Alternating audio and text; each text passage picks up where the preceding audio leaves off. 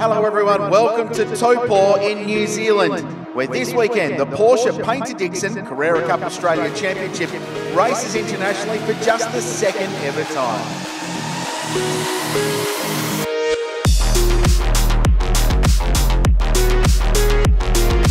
I'm really excited to be racing back on home soil. Uh, the last time I raced in New Zealand was in supercars at Pukekohe. Now we're here at Taupo racing Carrera Cup.